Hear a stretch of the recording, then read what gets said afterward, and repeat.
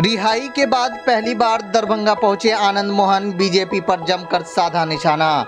कहा, देश को पाकिस्तान, बांग्लादेश नहीं बनने देना है। जी हाँ, जेल से रिहाई के बाद पहली बार दरभंगा पहुँचे बाहुबली सांसद आनंद मोहन ने। भारतीय जनता पार्टी पर जमकर निशाना साधा। उन्होंने मणिपुर में हो रही हिंसा के साथ साथ विपक्षी एकता की बैठक और भारतीय जनता पार्टी के ऊपर अंधभक्ति जैसे सवाल और हिंदू मुसलमान को बरगलाने की कोशिश को लेकर शायराना अंदाज में भी उन्होंने जवाब दिया। आनंद मोहन ने मणिपुर के सवालों पर जवाब देते हुए कहा कि इससे हमें सबक लेना चाहिए, अपने देश को पाकिस्तान, बांग्लादेश नहीं बनने देना है।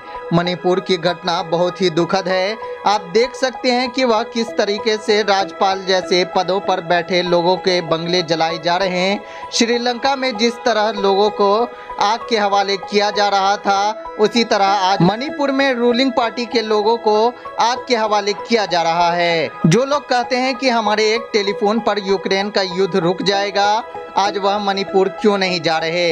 उन्होंने तंज कसते हुए कहा कि विदेश तो उनका फ़ोन चला गया, लेकिन अपने ही देश में कहाँ अटक गया? आनंद मोहन ने कहा कि हम लोग समाजवादी लोग हैं और यहाँ जो धर्म के नाम पर अंधभक्ति फैलाई जा रही है वह बहुत ही दुखद स्थिति है। पहले कितना अच्छा था कि जिन लोगों के बीच जो भी वैचारिक संघर्ष था, वह गांधीवादी और समाजवादी के बीच था। अब ऐसे दिन आ गए हैं कि लोग हिंदू वर्सेस मुसलमान लड़ाई करा रहे हैं। उन्होंने एक शायरी का हवाला देते हुए कहा कि शक्ति थोड़ी वाजिब है, पर पत्थर होना ठीक नहीं। हिंदू मुस्लिम वाजिब है, पर कट्टर होना ठीक नहीं। नेता परिस्थितियाँ पैदा नहीं करती। लगातार इतिहास साक्षी है परिस्थितियाँ नेता पैदा करती एक और बात। पर क्या आपकी हिम्मत नहीं होती है मणिपुर तरफ़ जाने की? आप पाकिस्तान पर कदुआ पर सितुआ चौक मैथिल में कहते हैं? ये तो होता है लेकिन एक बार भी डोकलाम की तरफ़ झांकने की आपकी हिम्मत नहीं होती। आपको अरुणाचल जाने की हिम्मत नहीं होती जहाँ कॉलोनी बस गया चीन ने बसा दिया। आप उसको छुपा लेते हैं जब आप कहते एयर क्रैश दुर्घटना। जिसको मार के हमारे आ, क्या कहते हैं पायलट और फौज को सिपाही मार के घसीट के चीन ले गया पहली जो घटना घटी थी उसको सीधे ठंडे बस्ते में डाल दिया। एक बार उधर लोग झांका नहीं उसकी चर्चा तक नहीं परिणाम हुआ कॉलोनी बस। दुनिया जानती है कॉलोनी बसी हुई। आप उधर झांकते नहीं।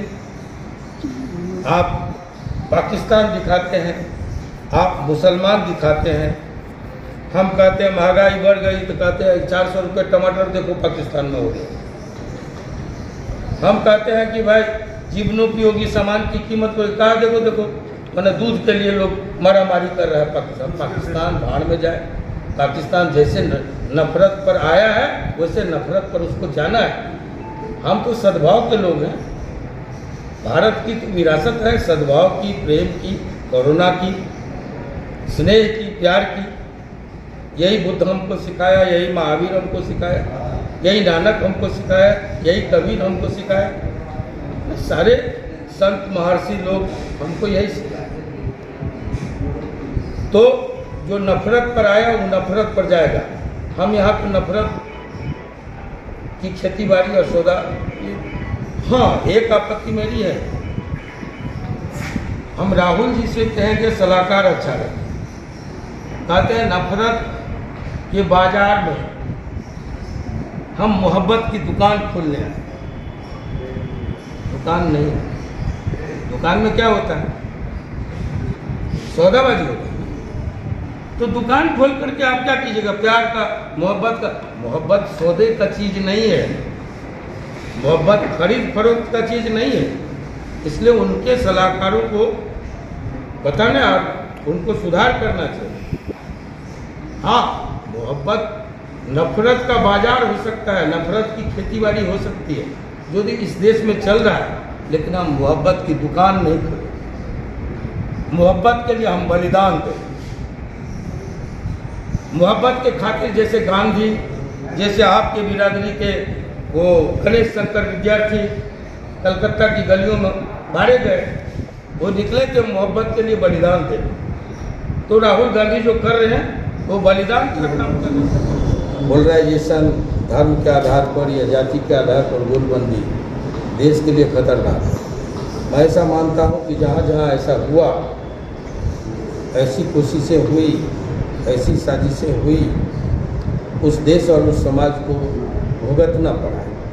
चाहे वो जर्मनी का बंटवारा हो तो भारत पाकिस्तान का बंटवारा हो चाहे भारत पाकिस्तान और बांग्लादेश का बंटवारा हो चाहे वो अफ़गानिस्तान और तालिबान का काट मार हो तो शिया और सुन्नी के नाम पर ईरान और इराक के, के मामले हो गए ये घटनाक्रम हो या बगल के पड़ोसी देश श्रीलंका में जहाँ तमिल और सिंघली का जातीय युद्ध हुआ। और आज अपने देश में विगत पैंतालीस दिनों से मणिपुर में जो हो रहा है, जिसमें दो दर्जन से ज़्यादा लोगों की जानें चली गई, पचहत्तर हज़ार से ज़्यादा लोग विस्थापित हो गए। और बच्चों तक को नहीं छोड़ा गया, बच्चे लापता हैं। माएँ दिल्ली में जंतर मंतर पर धरना दे रही है कि हमारे बच्चे कहाँ गए? ये बहुत ही दुर्भाग्यपूर्ण और सर्वनाक घटना है। और ये सब जातीय विद्वेष के कारण हुए इससे सबक लेना चाहिए। हमको अपने देश को पाकिस्तान, बांग्लादेश, अफ़गानिस्तान नहीं बनने देना है। मणिपुर की घटना बहुत ही दुखद घटना है। अब अब तो राजपाट सरकारी लोगों के बंगले जलाए जा रहे हैं। श्रीलंका की तरह जैसे राष्ट्रपति को वहाँ से भागना पड़ा, आग के हवाले लोगों ने कर दिया बिल्डिंग उसी तरह आज रूलिंग पार्टी के लोगों को आग के हवाले घर किए जा ये बहुत ही दुखद आठ पैंतालीस दिन में जो लोग कहते हैं कि हमारे एक टेलीफोन पर, खास करके अंधभक्त लोग तो बड़ी प्रचारित किया, हम लोग तो जेल से सुनते रहे। कि एक टेलीफोन पर यूक्रेन की का वो जंग टल गया, युद्ध रुक गया, और भारतीय लोगों को निकलना आज वो मणिपुर क्यों नहीं जा रहे? वो उनका टेलीफोन मणिपुर में कहाँ अटक गया? है इतना कम फासला में देश के अंदर। क्यों नहीं एक बार झांकने के लिए जा रहे हैं? लौह पुरुष। क्यों नहीं जा रहे हैं? विदेश यात्रा पर जाते हैं, देश में घटना घट रही है। वहाँ क्यों नहीं जाते हैं? तो ये सब बहुत दुखद स्थिति है, त्रासद स्थिति है। और मैं मानता हूँ कि जो ट्रेनिंग हम लोग की है, वो समाजवादी बैकग्राउंड से हम लोग हैं। और हमारे यहाँ जो जो ये धर्म के आधार पर गुटबंदी हो रही है, उसको मैं नेशन के लिए, राष्ट्र के लिए बहुत अशुभ लक्षण मानता हूँ। और हम जो बचे बचा खुचा समय, हमने पहले निकलते ही कहा कि हमारी आखिरी सांस समाजवाद की स्थापना समाजवाद को मज़बूत करने के लिए और ये बिहार समाजवादियों की धरती रही है, दरभंगा, आप सभी जानते हैं समाजवादियों की पुरानी धरती है। सूरज बाबू यहाँ से हुए, भोगेंद्र झा जी यहाँ हुए, है ना? एक से एक सोशलिस्ट लोग यहाँ हुए। रामनंद मिश्र मिश्र यहाँ से थे, है ना? जेपी का बहुत प्रिय डॉक्टर लोहिया का ये कर्मस्थल ही रहा है। हाँ। कर्पूरी जी, कौन नहीं जानता? तो ये समाजवादियों की धरती है और समाजवाद का कमज़ोर होना इस देश के लिए बहुत ही दुर्भाग्यपूर्ण है। उसका मृतप्राय होना या कमज़ोर होना, पहले जो संघर्ष होते थे वैचारिक, उसमें गांधीवाद वर्सेस समाजवाद होता आज हिंदू, मुसलमान बात बात में ये मंदिर, मस्जिद, किसी शायर ने कहा, शक्ति थोड़ी लाजिम है, पर पत्थर होना ठीक नहीं। हिंदू, मुस्लिम वाजिब है, पर कट्टर होना ठीक